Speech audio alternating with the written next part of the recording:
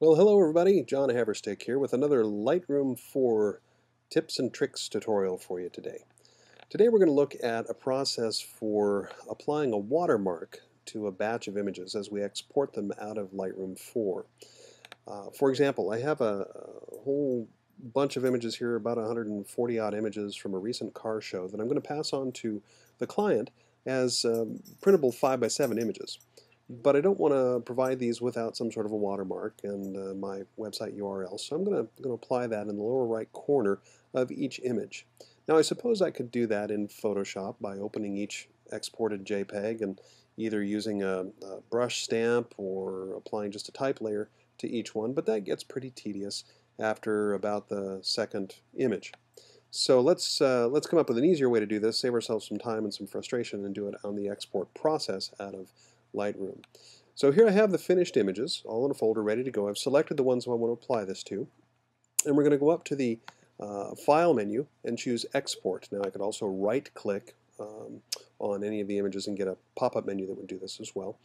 But uh, what I get then is the Export dialog box uh, with a bunch of presets for uh, various types of exports that I've created here on the left-hand side and all the options for um, the exports here on the right-hand side. I'm going to choose a preset that I've already created to get the images to the proper size, 5 by 7 at 240 uh, DPI. But this uh, preset does not include the watermark. So as we scroll down through the right-hand side here, we'll see there's an option here uh, in the dialog box for watermarking. And I'm going to go ahead and check the watermark checkbox here. When I do that, this drop-down menu becomes available. And I can select from a variety of watermark presets that I've already created, or I can choose, as in this case, to create a new one or edit a watermark. So we'll choose that option here.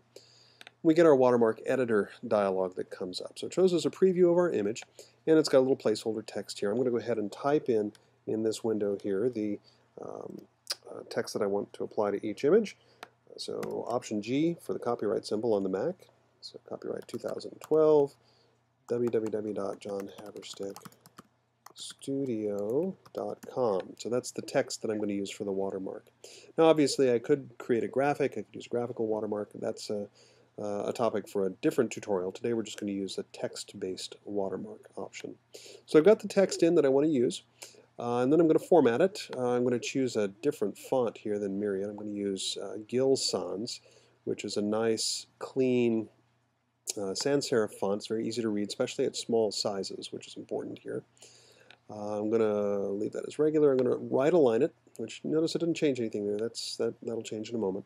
I'm going to leave the color as white. Don't really need a drop shadow for this, so we'll uncheck that option. I'm going to drop the opacity to about 75%. I could go lower, but I, I do want it to be visible, just not so much in your face. Now I'm going to skip all the way down to the bottom right here of the watermark editor dialog box to this option, anchor point.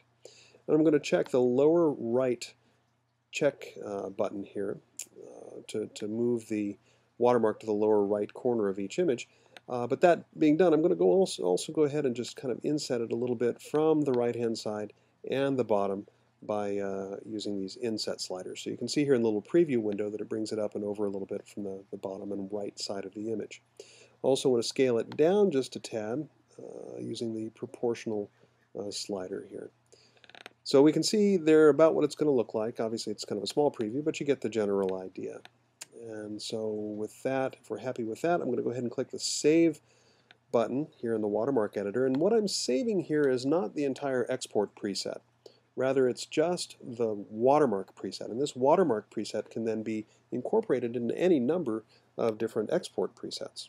So let's give it a name here. We're going to call it uh, 2012 copyright with web URL.